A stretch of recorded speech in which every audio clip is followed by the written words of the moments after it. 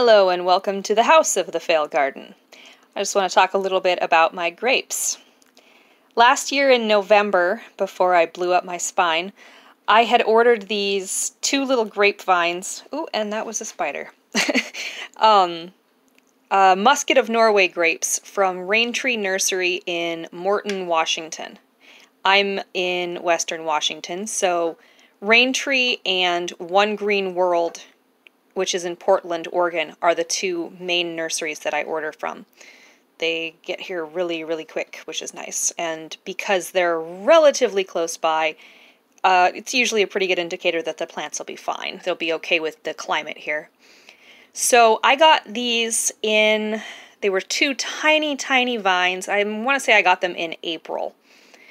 One of them had a tree get dropped on it and it snapped off all the little starting grape clusters, but that one grew significantly taller than the one that these came from.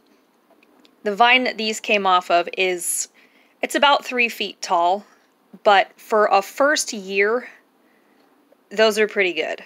Those are nice and big, and I picked them a little bit early because there's still one cluster that has a ways to go and also because last night it dropped down to 43 degrees, and that's just kind of how it is here. We go from like 90 degree days, all of a sudden it's dropping into really unpleasantly cold temperatures at night, and that's just kind of how fall goes here.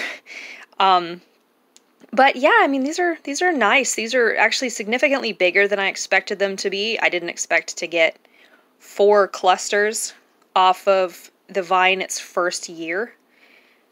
And I just wanted to brag about these real quick. And uh, if you're looking for some nice grapes, I do recommend Raintree Nursery if you're on the west coast or near it. So thank you to them for some beautiful little plants.